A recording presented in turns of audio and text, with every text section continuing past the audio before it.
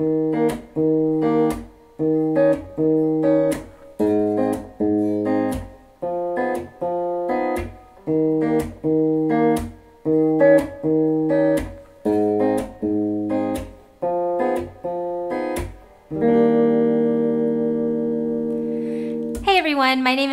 and today I'm going to be showing you guys how to play My Future by Billie Eilish on the guitar. So stay tuned if this is something you want to learn. Make sure to subscribe to my channel, that way you never miss out on another new tutorial, and follow me on Instagram for your chance to win a free lesson with me.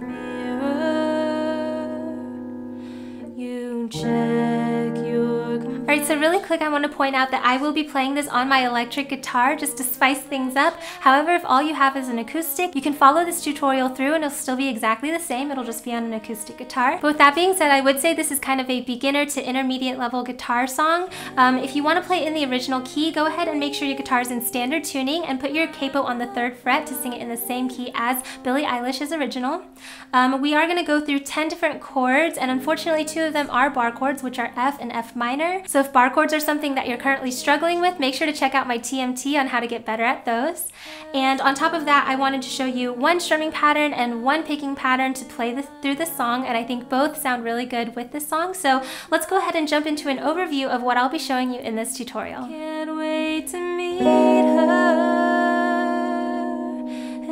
So like I said a second ago, this is going to have quite a few chords in it. As you can see, there are 10 chords. Those are C major 7, C7, F, D minor 7, 5, F minor, E7, A minor, A minor 7, D, and F major 7.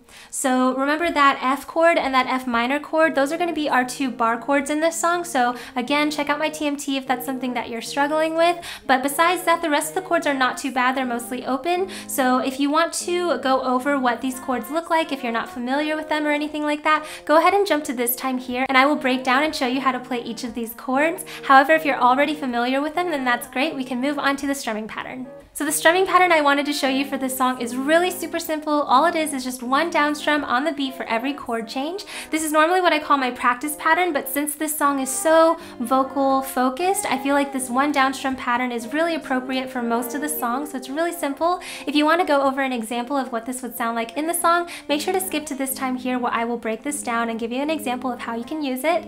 However, if you feel like you don't really need to practice the one down strum and you want to venture into the picking pattern that I have to show you, then let's go ahead and move move on to the picking. So as you can see, the picking pattern I want to show you for this song is pretty simple. It's going to be the bass note of each chord plus the third, second, and first string, and it's going to sound a little something like this.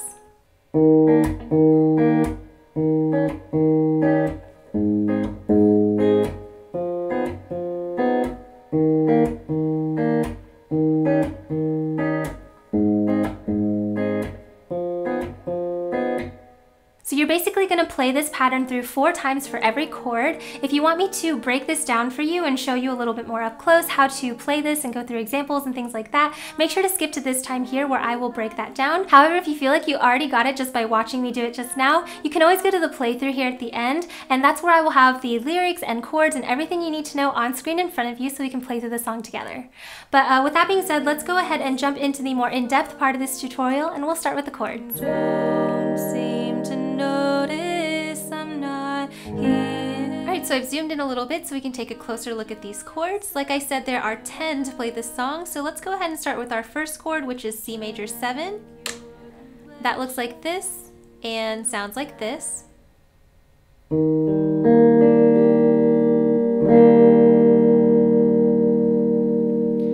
After that, we've got C7, which looks like this and sounds like this.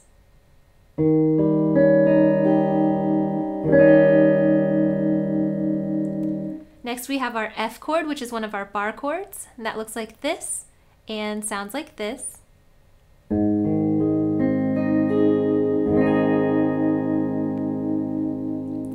Then we have D minor 7 5 and that looks like this and sounds like this.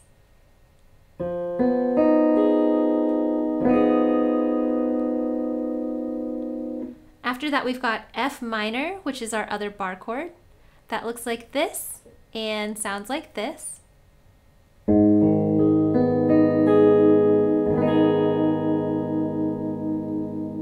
right, Moving on, we've got our E7 chord, which looks like this and sounds like this.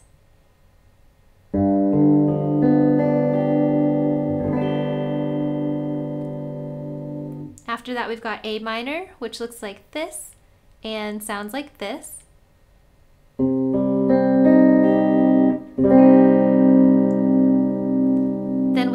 A minor 7, which looks like this and sounds like this.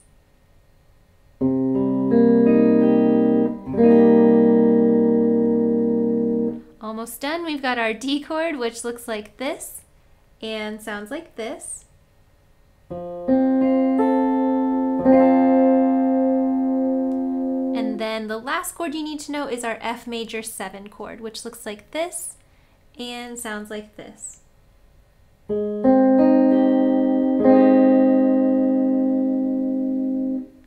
and those are all the chords you need to know how to play the song. Alright, so after you have these chords memorized, go ahead and take a few moments to practice transitioning between them. If that's something that you're having trouble with right now, go ahead and check out my TMT right here on how to transition between chords faster. Hopefully that'll help you and you'll be able to do some of these picking patterns a little bit more easily after that. But yeah, with that being said, let's go ahead and jump into the strumming pattern that I like to use for this song. Do you understand? I've changed my plan. Cause I... So as you can see, the strumming pattern for this song is just a really simple one down strum on the beat for every chord change.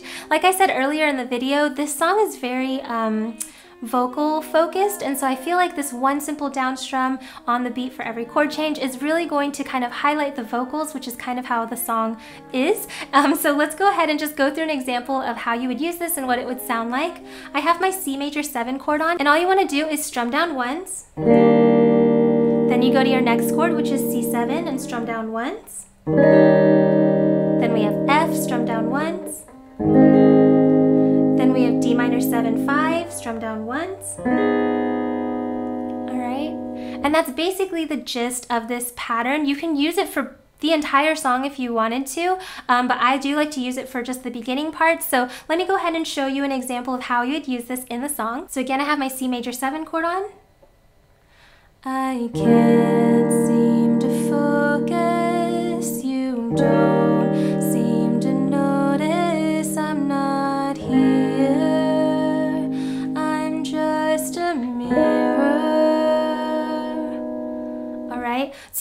and you can take that through basically the entire song and all you want to do is one simple down strum on the beat for every chord change and I already think that that sounds beautiful because again, this song is very vocal heavy and so the guitar is kind of going to be just more of an accompaniment to the vocals. So if you want to just do the one simple down strum for the entire song, I think that would sound really great. However, there is a portion of this song where it speeds up a little bit and I like to put a picking pattern there. So let me go ahead and zoom in and show you how to do that picking pattern. Ah.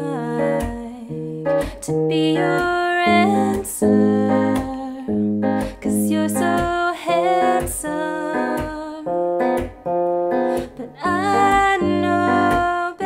I've zoomed in a little bit so we can take a closer look at this picking pattern. If you're not familiar with any of my other tutorials, I do like to refer to these strings as numbers. So I'm just gonna zoom in really quick and show you guys what I mean by that. So like my low E string, I refer to as six, and that goes all the way up five, four, three, two, one to my high E string, which is one.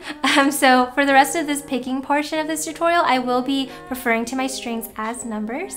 Um, but with that being said, let's go ahead and jump into this. With your right picking hand, what I want you to do is take your pointer or first finger and put that on the third G string. Then take your middle finger and put that on the second B string, and then take your ring finger and put that on the high E string. So during this entire picking pattern, these three fingers are never gonna move off these three strings. What's gonna move is your thumb. It's gonna go back and forth between the sixth, fifth, and fourth string, depending on the chord you're playing and which note is the bass note in that chord. So um, with that being said, let me go ahead and just jump into some of these chords. With our C major seven chord, that's our very first chord in the song, and the bottom note here is gonna be our fifth string. So go ahead and put your thumb on the fifth string. And what I want you to do is pick your thumb, then pick your other three fingers, and then we're gonna just slap the strings to mute them, okay? So we've got five, three, two, one, mute. And all you have to do to mute is just kind of, you can do it with an open hand and just slap the strings. You could do it with a closed fist. I usually just come down with my fingers in place and just kind of, I guess, use my palm a little bit.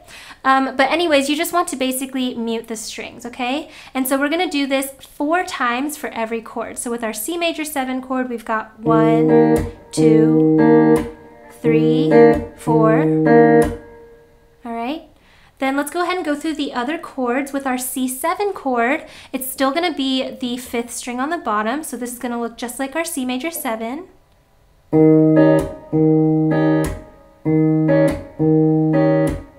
Nice. Then we go to our F chord. Now the bottom note in the F chord is going to be our low E string. So move your thumb from the fifth to the low sixth E string. But the pattern is still going to be the same. So we've got six, three, two, one, mute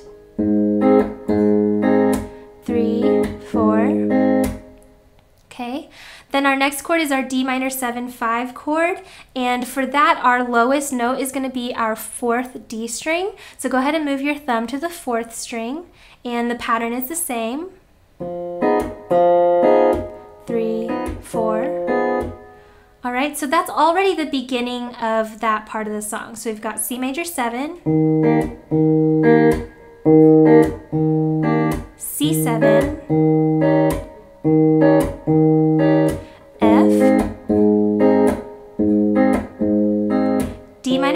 7 5.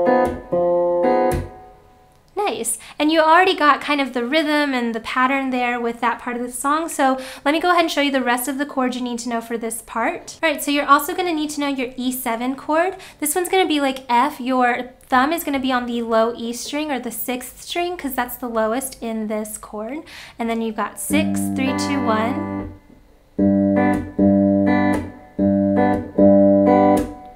And then for D, we got our thumb on the fourth string.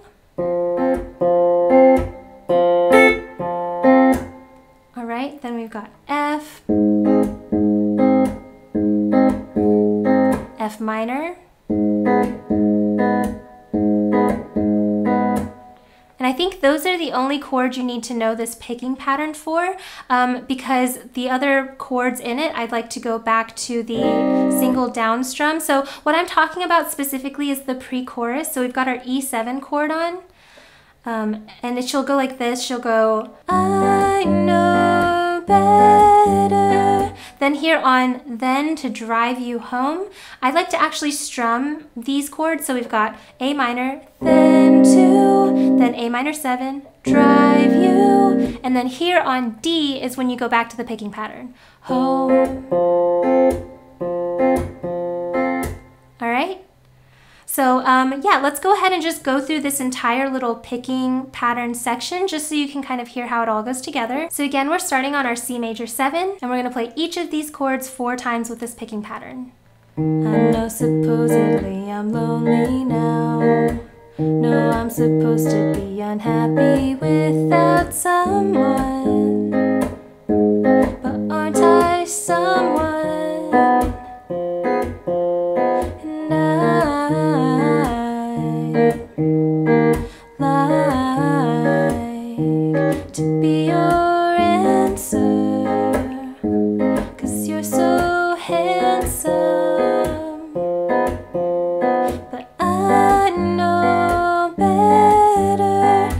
To strumming, then to drive you back to picking home.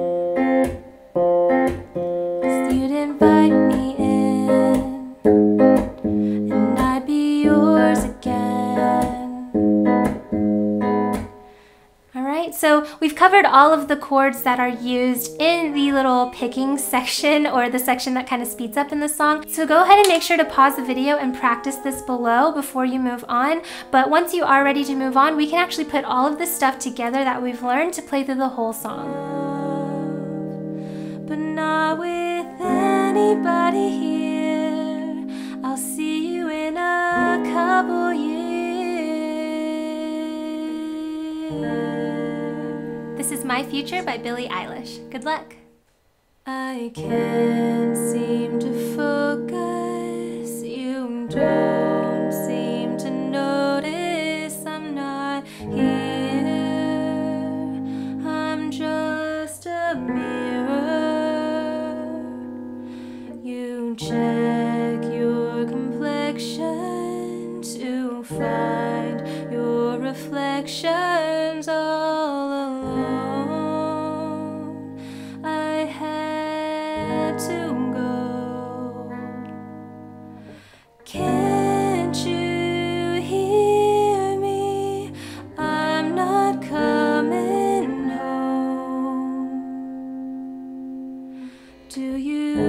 Understand?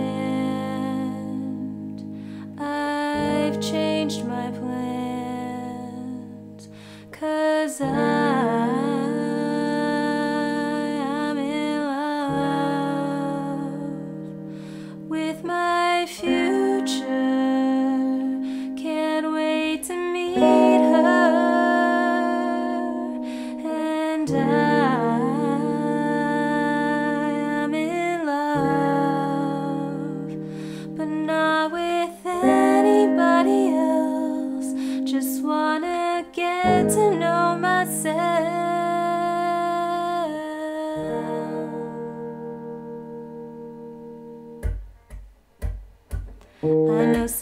I'm lonely now. No, I'm supposed to be unhappy without someone.